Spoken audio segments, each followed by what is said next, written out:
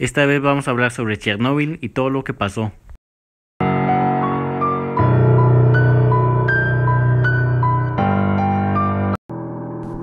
¿Cuándo pasó el accidente de Chernóbil?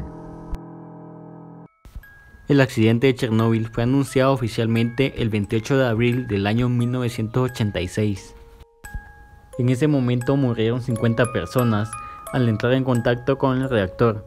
Los bomberos intentaron apagar una serie de incendios en la central y en la última instancia los helicópteros tiraron arena y otros materiales en un intento de sofocar las llamas y contener la contaminación.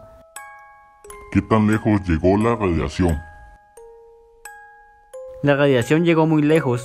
Hoy en día el área estimada es de 150.000 kilómetros cuadrados entre Bielorrusia, Rusia y Ucrania. La zona de exclusión es de 30 kilómetros alrededor de la planta, o sea unos 5.200 kilómetros cuadrados.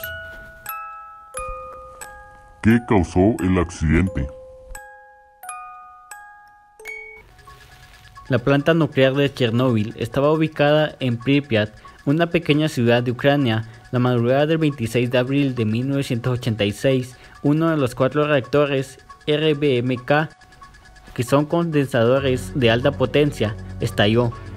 Las razones fueron dos, humanas y técnicas. Los responsables de la central no siguieron las medidas de seguridad, lo cual hizo que el combustible se recalentara. El gran problema era que la Unión Soviética no tenía lo que se lo conoce hoy como estructura de contención, que lo que hace justamente es asegurar que la radiación se mantenga dentro de la planta. ¿Qué pasó con Chernóbil después del accidente? Ya que pasaron más de 30 años, científicos afirman que la zona alrededor de la antigua central nuclear no podrá ser habitable hasta en lo mínimo de unos 20.000 años. ¿Qué mutaciones han salido de Chernóbil? Debido a la radiación de la bomba nuclear, han salido muchas mutaciones de personas, animales y lugares abandonadas.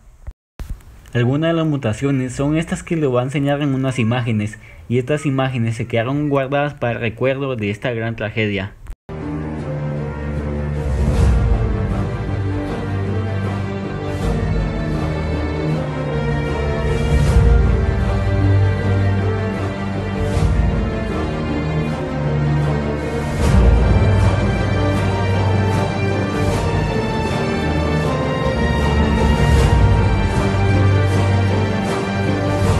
Esta rueda que están viendo en esta imagen es de Chernóbil y también tiene una gran historia. Si quieren que lo cuente la historia, dejen su comentario para parte 2. Y esto es todo por el video de hoy. Si te gustó el video puedes dejar tu like, comentario y suscribirte a este canal que es totalmente gratis.